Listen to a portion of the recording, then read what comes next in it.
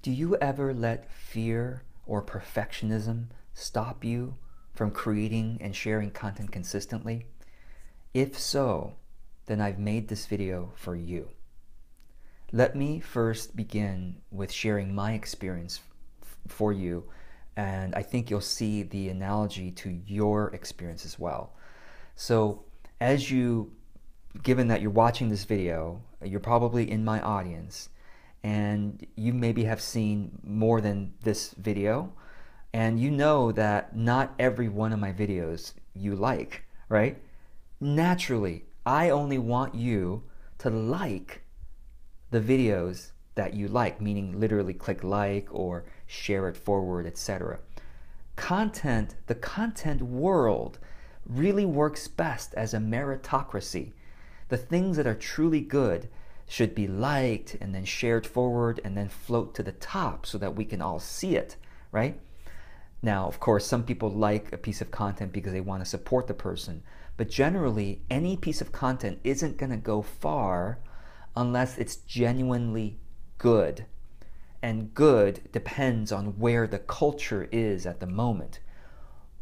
You know, good, uh, or f- for example, something that's funny is different today than it was 20 years ago, right? What was funny 20 years ago is not as funny today. What, what's funny today might not be as funny two years, three years from now. Same thing. What's interesting, what's exciting, today might not be the same as even a year or two from now. So, so what I have learned over the years of creating content is to become more agnostic about every piece of content that I create and that I share. What I mean is that it's my agnostic means I don't know, right?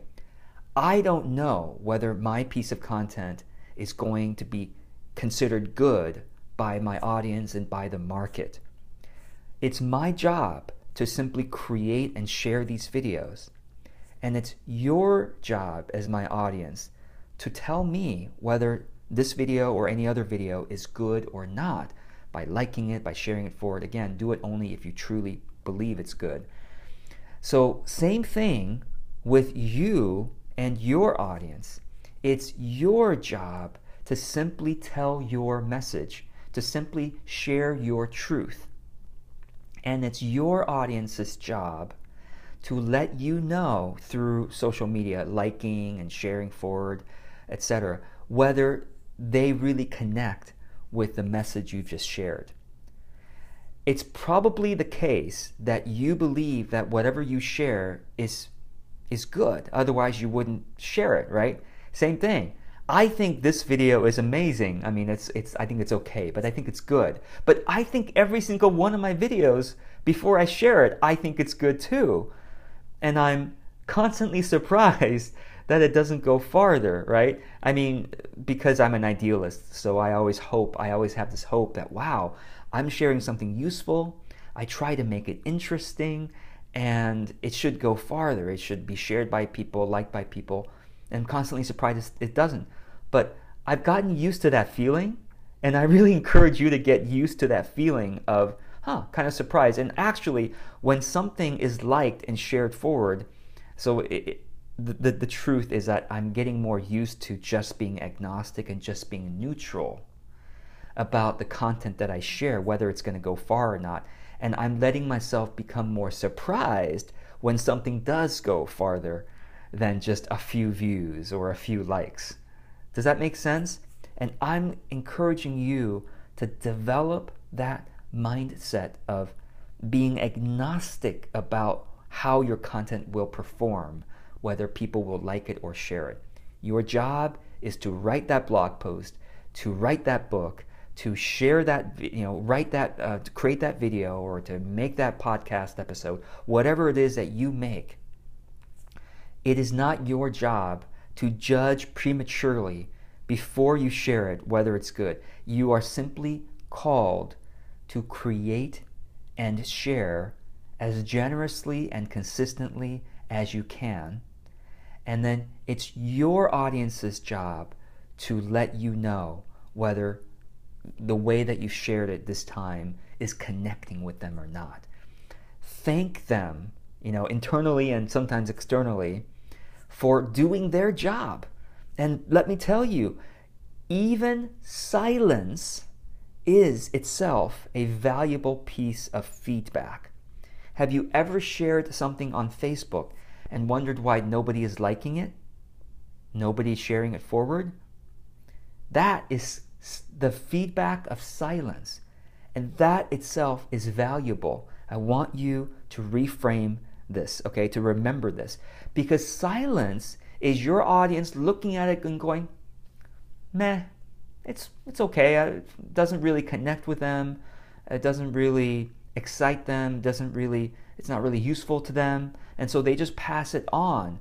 But that itself is feedback to you that, oh, what I, the way I've said it or what I've said isn't either useful to my audience, useful enough to my audience, or it's not entertaining enough or interesting enough or exciting enough for my audience, or you know, it doesn't, in other words, it doesn't connect with them enough for them to give you any other feedback than silence. Does that make sense?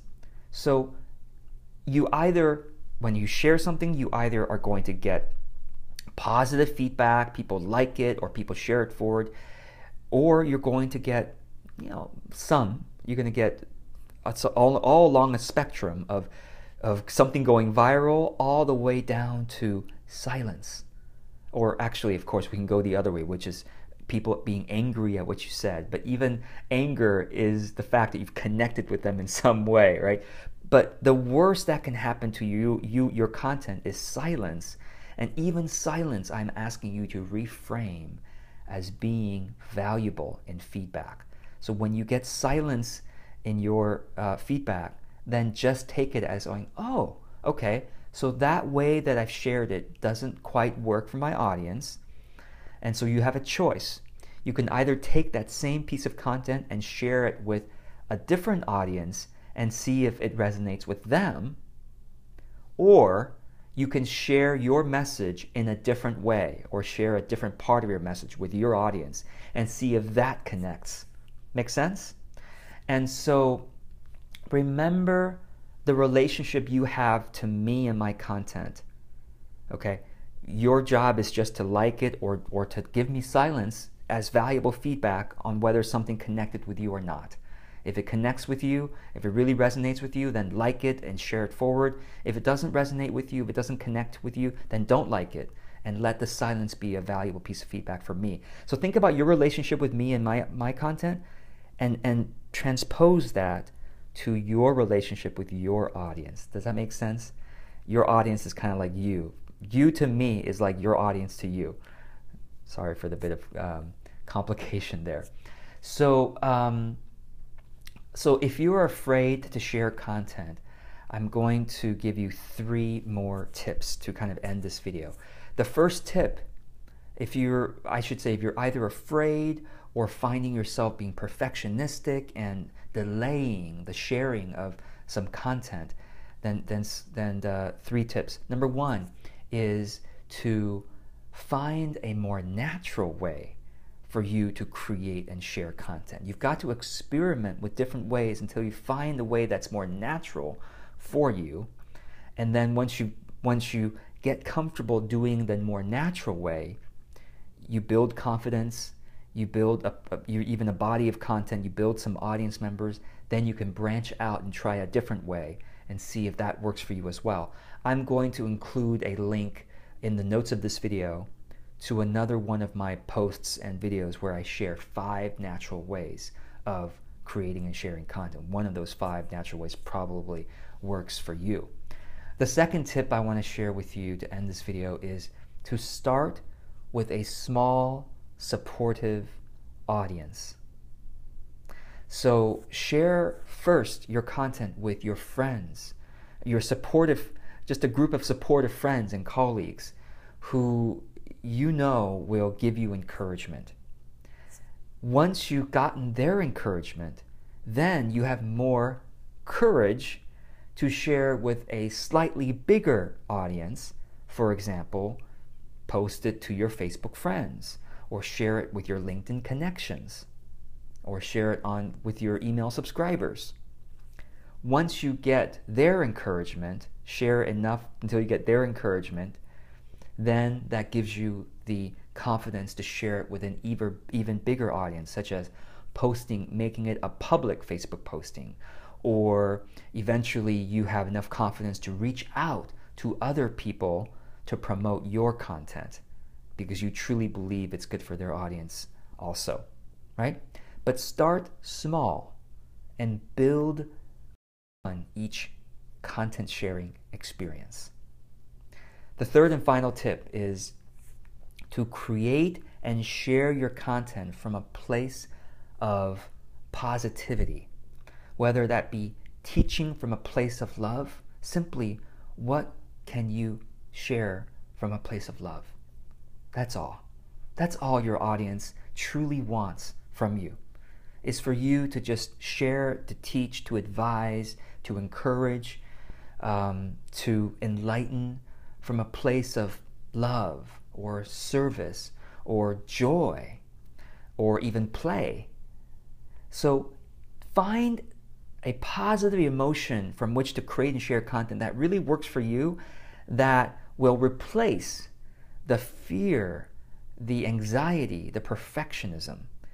Because when you return to your positivity and sharing your content, it simply becomes a fun thing to do. Just like it's fun for me to share this video with you, right?